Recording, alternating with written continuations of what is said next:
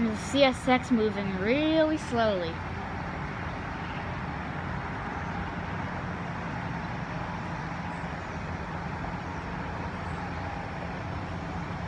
I don't know if you can see it over there.